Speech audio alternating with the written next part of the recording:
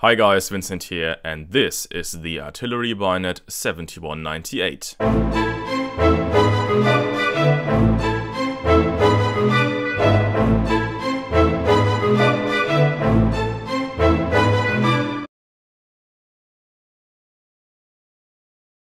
Welcome back to the third and last video about this family of bayonets.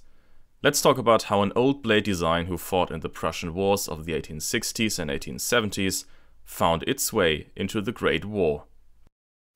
The Artillerieseitengewehr 7198 or Artillery Bayonet 7198 is a sword-style bayonet with a pipe-back blade design featuring a metal hilt together with two screwed-on wood grip pieces.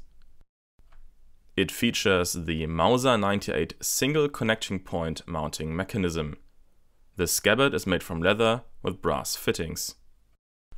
The overall length is 640 mm. The blade itself is 505 mm long, 31 mm wide, and near the hilt, the blade is roughly 9 mm thick. Without the scabbard, the bayonet itself weighs around 570 grams. Now, in the second video we saw how a bayonet initially designed for the fusiliers got transformed into a bayonet for the heavy artillery, the foot artillery.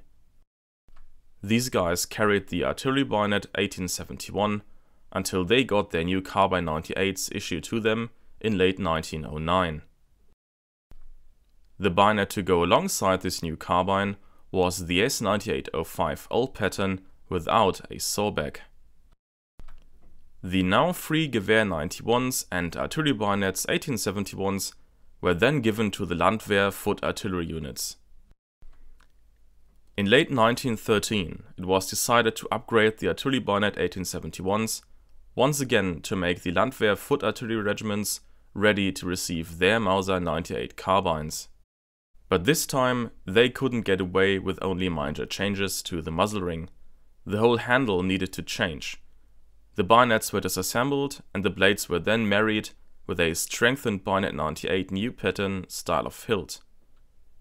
Since the blade remained untouched, the old scabbards could still be used without any changes. This whole process started in April 1914, so just before the war was declared in July of 1914. And this information is important because it shows that this bayonet was not a wartime Aushilfsseitengewehr, or sometimes called Ersatzbayonets, but rather a real regulation pattern bayonet. But this newly built artillery bayonet 7198 never made its way to the Landwehr foot artillery units. Due to the massive shortages of modern rifles and bayonets in the early years of the war, 1914 and 1915, most of these bayonets were sent to the frontline troops. It is not uncommon to find wartime unit markings on these artillery bayonets from infantry units or find original pictures from that era with infantry units showing to wear those original artillery bayonets. The Artillery Bayonet 7198, a former bayonet designed for light infantry in the Royal Prussian era, served throughout the whole First World War, with all of its loss of life and material. And this explains why they are so hard to find today.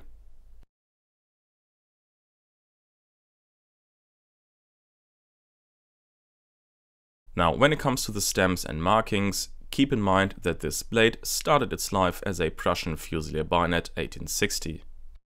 The manufacturer of this blade was Kleemann and Jung in Solingen.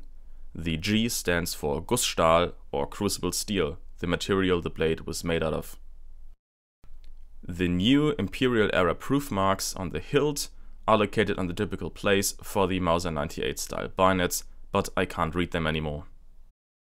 The original Fusilier bayonet 1860 became state property in 1863, and then the blade stayed in service until the end of the First World War. Really quite a long journey if you think about it. And during this time no other property marking was needed since the original Royal Prussian markings were still valid. Now as mentioned before, these artillery bayonets 7198 never made it to the Landwehr foot artillery units they were originally designed for. so they don't feature any regular unit marking. These scabbard, however, mostly show the unit markings from their lives as artillery bayonets 1871s, where they served with a regular foot artillery regiment.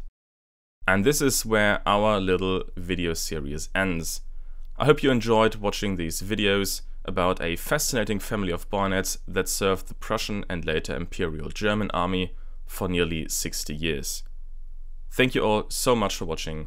If you have any questions, just let me know in the comments down below or send me an email. And this leaves me with nothing else to say but I will see you guys in the next video.